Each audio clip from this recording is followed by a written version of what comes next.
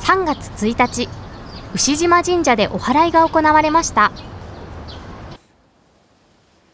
何のお祓いかというと昔から隅田に伝わる本所七不思議を題材にしたゲームの必勝祈願のためのもの。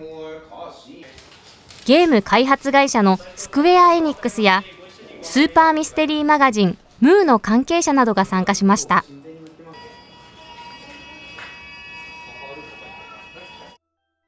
ストーリーは昭和後期の墨田区を舞台に呪いの力を得た9人の男女が七不思議に隠された蘇りの秘術をめぐってそれぞれの思いをぶつけ合う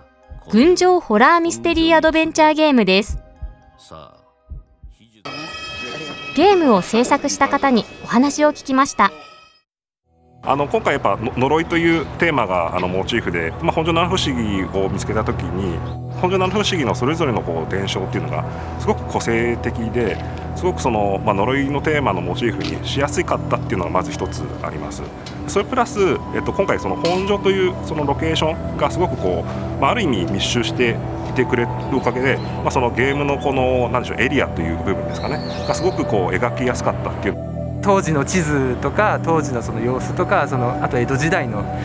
その本所七不思議が生まれるきっかけになった時代がどういう背景だったのかみたいなところとかちょっと調べながらじゃあこのエピソードをちょっと膨らましてこういうふうに解釈してみようかなみたいに、えやっていったところがちょっと今回の特徴というか独特の作業でしたゲーム発売に伴い舞台となった区内各所を巡るガイドマップも作られました。